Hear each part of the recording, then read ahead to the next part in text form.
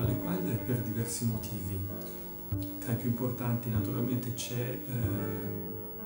il mistero, che è la cosa che a me trae di più della musica, e, e cioè che mm, ancora alle Wilder dei grandi compositori americani eh, è l'unico forse che non ha una storicizzazione, una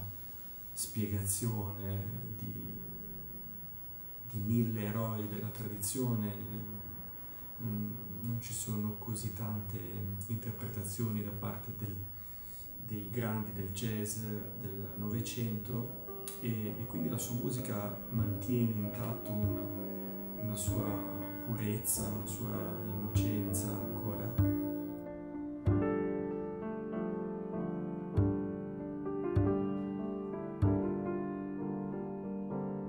art songs sono, sono proprio una raccolta mh, mm, eh, virtuosa, secondo me, perché proprio questo tipo di prassi è assai virtuosa, cioè quella di, di mettere in musica dei versi eh, preesistenti di poeti, oppure quello di, di creare dei sodalizi eh, con dei poeti viventi eh, attraverso cui eh, creare queste, queste canzoni dando molta importanza al, ai contenuti letterari, quindi della parte testuale.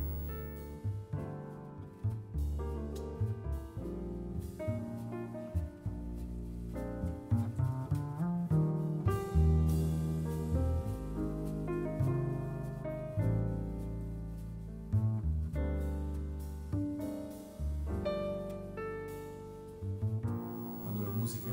spogliandola dallo stile rimane, rimane forse ancora più forte il contenuto nel tempo e proprio questo contenuto, questo nucleo profondo del, del, del materiale compositivo, sia letterario che, che, musicale, è ciò a cui ci siamo, eh, eh, ci siamo indirizzati e concentrati.